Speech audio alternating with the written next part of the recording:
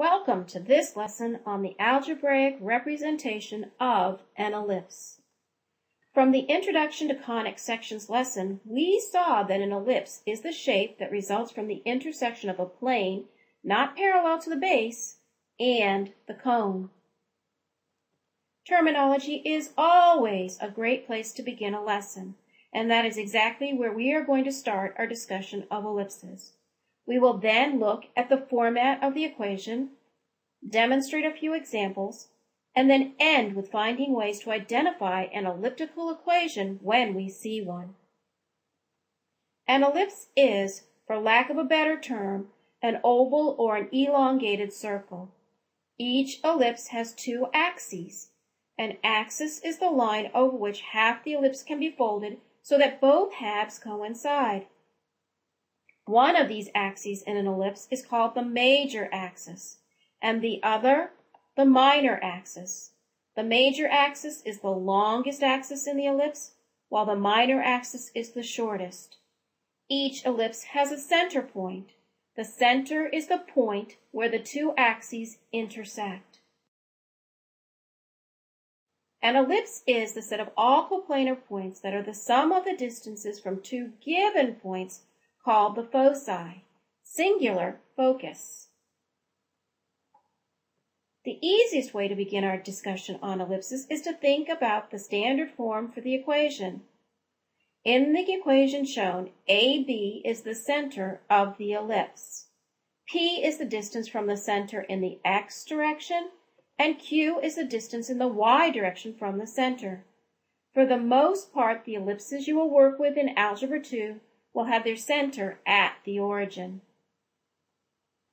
Let's look at our first example about the ellipse. What is the center of the ellipse shown? What is P? What is Q? And what would a sketch look like? The center is 2, negative 3.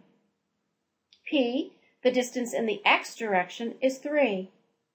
Q, the distance in the y direction from the center, is 6. If you're not sure how I got these values, please stop this lesson and look back to the previous slide. To graph this ellipse, we would start with the center.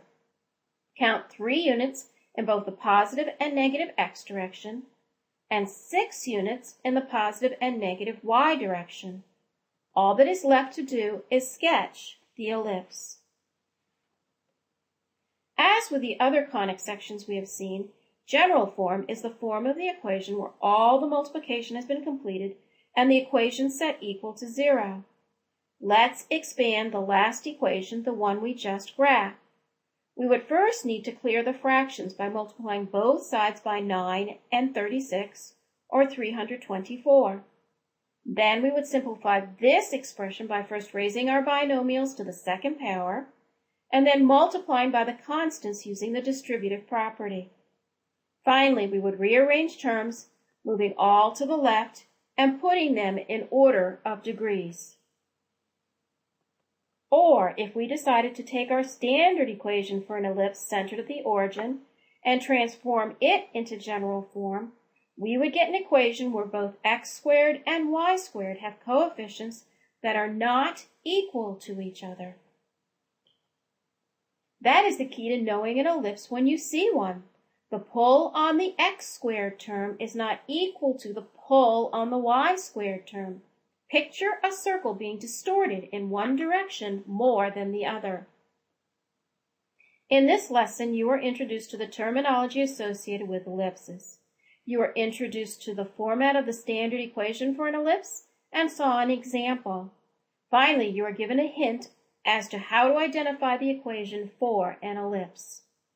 Thank you for joining us as we looked at an ellipse. There are four other lessons on conic sections. We hope that to see you in one of those lessons as well.